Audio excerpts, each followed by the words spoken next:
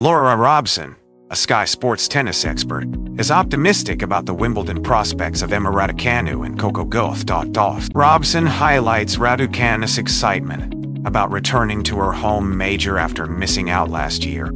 Raducanu's recent performances in Nottingham and Eastbourne have been impressive, indicating positive signs for her upcoming matches. Robson praises Raducanu for bringing renewed passion and energy to her game, helped by her improved health. Additionally, Robson believes that Coco Gauff is a serious contender for the women's singles title at Wimbledon. Gauff's strong performances and consistent progress make her a force to be reckoned with in the tournament. Robson expresses her enthusiasm to witness Raducanu and Gauff's performances at the upcoming Wimbledon, expecting great things from both players.